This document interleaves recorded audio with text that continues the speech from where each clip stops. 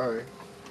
I see a song, so no introductions needed. We just gonna uh, tell YouTube about the frame again.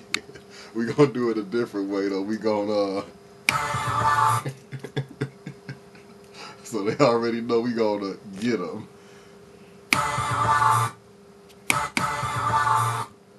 think we need some volume on that one.